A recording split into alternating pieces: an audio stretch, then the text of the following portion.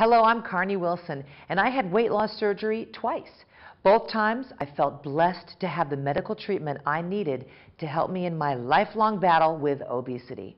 Not all are so fortunate. Many are denied weight loss surgery and have no way to fund the surgery on their own.